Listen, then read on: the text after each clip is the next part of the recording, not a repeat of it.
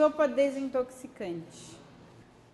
Uma cenoura picadinha em cubinhos, um chuchu descascado e picado em cubinhos, tudo em cubinhos, tá? Meio nabo picado em cubinhos, um, meia abóbora cabutiá em, em cubinhos. Aqui vai ser muito relativo, existem abóboras desse tamanho, existe uma abóbora pequena. A gente tá falando de uma abóbora tamanho normal, tá? Duas xícaras de vagem picada, uma cebola e meia picada, um talo de salsão picado, manjericão fresquinho picado, salsinha e cebolinha a gosto, sal a gosto, tá? É, essa sopa, ela fica muito boa também. Aí, aí eu já tô falando, nós vamos sair do que é um caldo desintoxicante e aproveitar ele para fazer uma outra sopa, tá? Essa sopa fica muito boa se você acrescenta uma batata na hora de cozinhar e lembra daqueles ervilha e milho congelados? Eu coloco ervilha e milho já no finalzinho e ela fica uma sopa meio grossinha. E eu gosto de bater um pouquinho no liquidificador. Eu só bato um pouquinho, só para dar um caldinho. Junto com essa meia cebola que eu deixo separada. Sempre eu uso a meia cebola. Normalmente, é, eu tiro a salsinha cebolinha e coloco só o manjericão na hora de bater a sopa. Isso para fazer uma sopa de legumes, tá? Nós estamos pegando a mesma base da sopa desintoxicante, agregando uma batata na hora de cozinhar e depois na hora que nós vamos bater como as outras sopas, a gente só vai bater uma porção delas e depois que você bater e colocou de novo junto, aí você acrescenta o milho e ervilha para a gente não bater eles no liquidificador junto. Quando você bate no liquidificador, você bate o manjericão junto também. Fica uma delícia.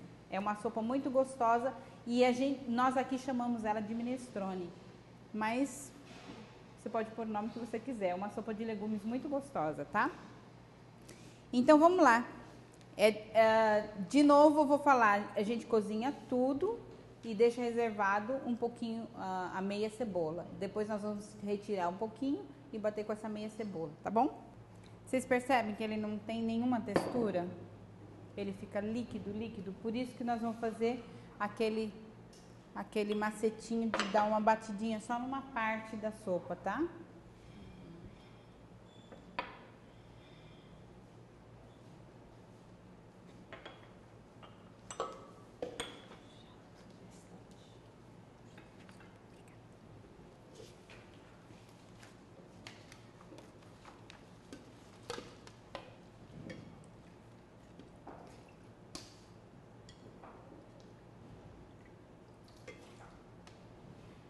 Tá? Uma partezinha só.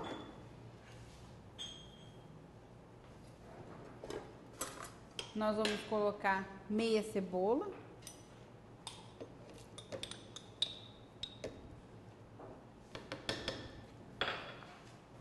E eu vou colocar só o manjericão, tudo bem? Não, gente... não vou colocar salsinha cebolinha. A não ser que vocês queiram na hora de comer. Também não, né?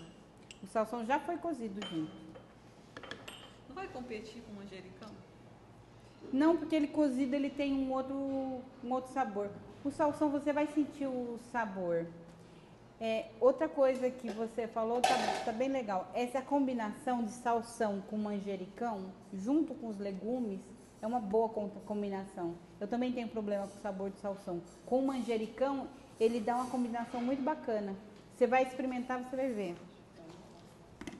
É, é uma. É o salsão. Então, eu, eu ia falar isso. Minha mãe fazia quando nós éramos pequenos uma, um suco que era cenoura, beterraba e salsão. E eu enjoei do sabor do salsão. Dos outros sabores eu não enjoo, que eu adoro suco de cenoura e suco de beterraba. Mas o salsão ele tem um sabor muito forte e menos ainda para tomar num suco, né? Não sei como você, você sentiu o suco na, hoje de manhã de salsão. Mas tudo bem. Né? Colocar um pouquinho de azeite.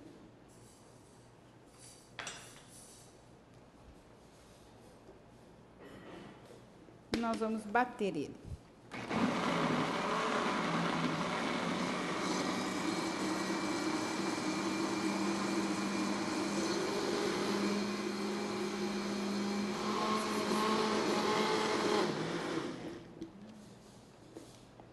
É só mesmo para dar, olha, olha, nós vamos fazer a diferencinha, tá vendo?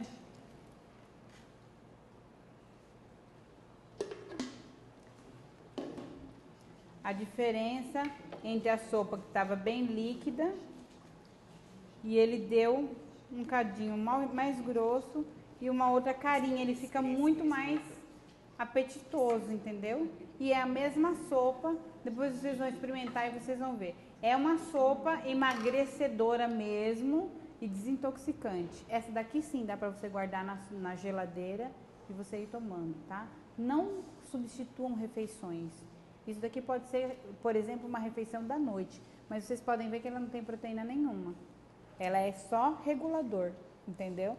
Então, é para fazer alguma coisa. Nós aqui usamos como desintoxicante mesmo, junto com a dieta do suco, que também. A sopa sim. Mas a não ser que você esteja na dieta desintoxicante e que você está só tomando fruta como a gente faz aqui. Ah, então, isso que eu tô perguntando. Isso, se você estiver fazendo só assim, pode porque você está fazendo uma dieta só para isso, entendeu? Mas assim, não substituam refeições, você só está fazendo uma limpeza no teu corpo. Por isso que eu coloquei o nome de caldo desintoxicante, porque ela é só para tratamento mesmo, tá?